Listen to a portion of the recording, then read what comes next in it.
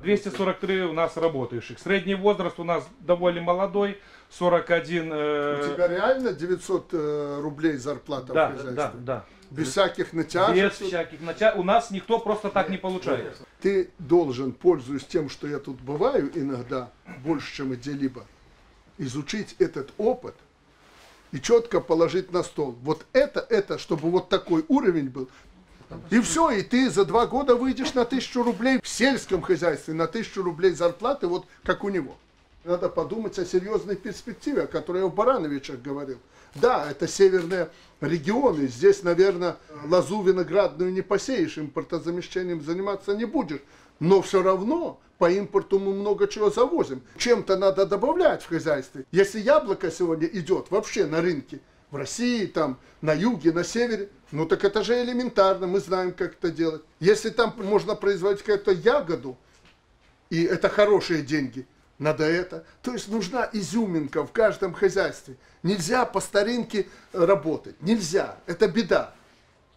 Надо генерировать не только идеи, но уже э, создавать новое направление развития. И где, как не в Кловском районе, это делать?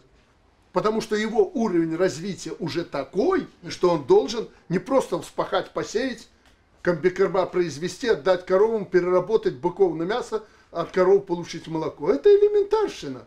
Уже про такой базе надо думать, что будем, как обрабатывать пойму Днепра, что мы там будем на этой пойме, каких баранов овец растить и так далее. Каждый клочок и новое, новое, новое, то, что под- требуется на рынке. В этом суть развития сельского хозяйства, в этом суть сказанного в Барановичах.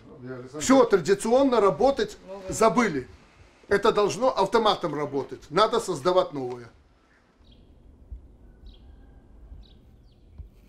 Технику меняем, трактора потихонечку где-то обновляем новый тракторный парк. Как Э, работает этот трактор? Я скажу так, если механизатор есть толковый, и он смотрит за трактором, техобслуживание, все проглядает, ну, вопросов нет. То, что я и говорил. Да. Любая техника будет работать более-менее, если ее обслуживать как следует. Обязательно. На таком тракторе должно работать два человека.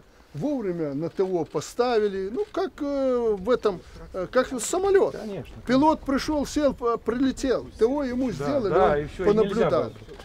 Ты уже работал э, в поле на нем в этом году или еще не выходил? Ну вот возили. Поле ще пахать поїде. Пахать? Так он Ну, говорит, что органику, органику. Органіку запах. Запахил? Да. Ну, успех. Спасибо.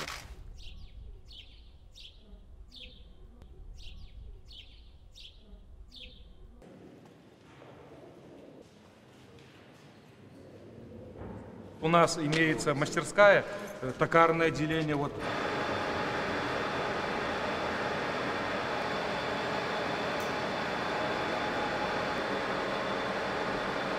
Самое главное это токарь. Это самый большой дефицит. поле, когда сломалось, Да, да, куда да. лететь, что делать. Токарь это, это, это счастье, если есть толковый. В каком месте самое высокое была у тебя зарплата? Или у тебя, в принципе, Я не- здесь постоянно работаю, мне э, как бы, я же никуда не... То есть постоянно у тебя месяц в месяц одинаковая зарплата? Да, ну только зимой, зимой, как бы сказать, чуть меньше, потому что там меньше, э, как бы сказать... Ну, а летом максимально Летом, какая? Ну, 700, 700, 600. Ну, скажи мне честно, вот 700 рублей в деревне получаем, можно жить? Но если имеешь свое хозяйство, свой огород, Вот да. это большая проблема. Люди перестали заниматься своим хозяйством. Так, так раньше за землю дрались, а сейчас... Да, вот тут- сегодня я начал в своей деревне, допустим. Я так иду, ну, заставил порядок, правда, навести. Ну, люди не очень-то, даже по трое, по четверо детей. Яблони не хотят во дворе посадить. Вот проблема какая. Я уже не говорю о том, что поросенка держать, а про корову так уж и речи нет. А у тебя что? Куры, И все? гуси. И все. Пока все. Значит, значит хватает. денег.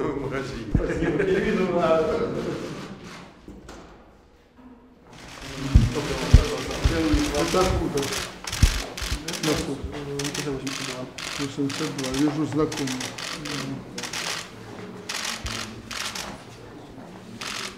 И есть возможность никуда не возить, а именно на месте. Живешь здесь, да? Да, да, жилье предоставили. Жилье, да. По распределению пришел. Женатый? Да, семья, ребенок. Уже ну, в декрете. Ну, это счастье.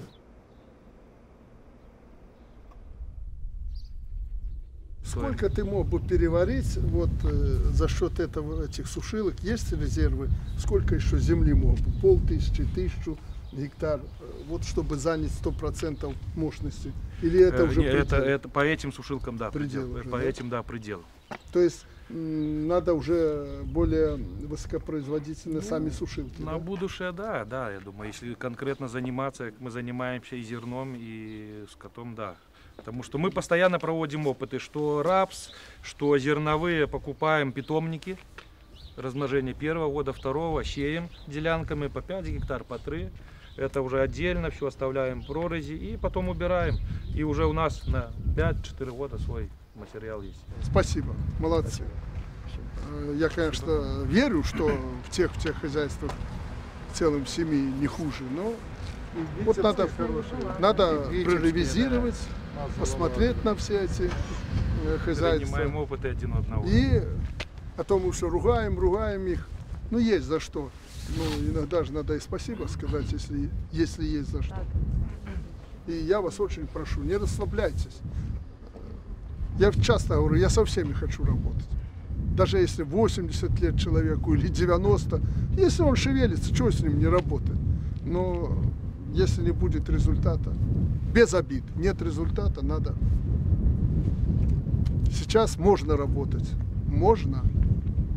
Я не говорю, что нужно. Ну, а если человек не тянет, ну что, гробить остальных. Спасибо. Спасибо вам. Еще раз.